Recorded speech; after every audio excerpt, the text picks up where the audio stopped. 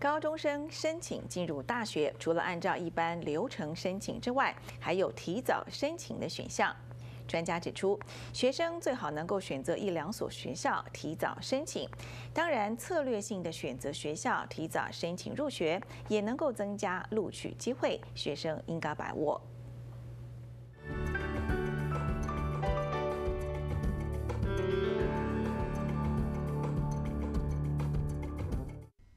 一般来说，高中生提早申请大学是在每年的十月份，而各校的截止日期有所不同。专家非常鼓励学生提早申请大学。提早申请这个区块，基本上是私立学校，他们希望能够提早去确认一部分的学生名单。像很多的大学，在这个提早申请的区块，会这个录取大概三分之一甚至一半以上的这个呃该年度应该录取的新生名额。提早申请这个区块，很多的大学它呃的录取率是一般。录取的这个呃两到三倍，像有一些大学它的这个录取率可能是七个 percent，可是在这个提早申请这个区块，它可以这个录取率达到二十或者是更高的这个 percentage，所以选对学校做提早申请的话，它的这个被录取的机会会比较大一点。提早申请的种类大致上分成三种，学生应该依照自己的情况选择。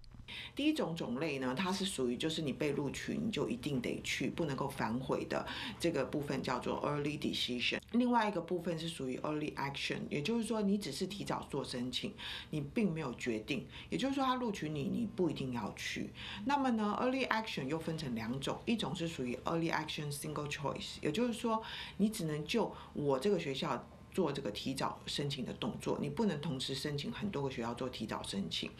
像呃，斯坦福大学跟哈佛大学就是这个类型的，也有一种是属于就是没有限制的 early action，也就是说呢，你可以同时申请很多家学校，就是呃提早申请，像这个呃加州理工学院跟这个麻省理工学院，它都是属于这一类型。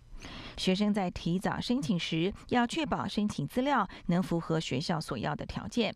由于提早申请被拒，就不能再送一般申请审核，因此学生不得不慎。但也强调提早申请的重要性。提早申请对学生的重要性是非常大的，因为呢，一般申请呢，你可能要到四月份才能够拿到结果。那提早申请，通常你在十二月十五号之前，你就一定会得到一个结果，而且呢，它的这个录取率有可能是比较高的，因为呃，有些学校是可以高很多，有些学校就不一定。可是呢，如果你选对学校的话，如果说啊。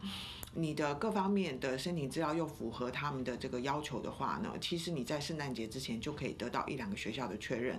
这个对呃学生来说是一个心理上很大的帮助，因为学生他们多半很焦急，在这个过程之中，如果要等到三四月才能知道结果，其实这个等待的过程中心理的煎熬是蛮大的。那提早申请的啊好处呢，不但是就是说，如果你选对学校，录取的机会比较高，而且呢又可以很早的就知道结果。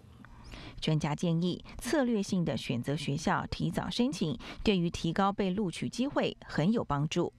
比较不适合一厢情愿的只选自己最想去的大学做提早申请，因为呢，有些学校它的提早申请并没有比一一般申请的这个录取率高很多，而且它提早申请这个区块可能有大量的校友子女跟这个教职员子女提出申请，所以呢，策略性的正呃选择就是适合自己的学校，而且就是胜算比较大的学校是非常非常大的一个呃考量。专家表示，学生申提早申请之后，其他学校还是要继续一般申请。而打算提早申请的学生，最好在六月时候就考好标准化测试，以及提早要求师长推荐信，才能够在提早申请的程序当中做好万全的准备。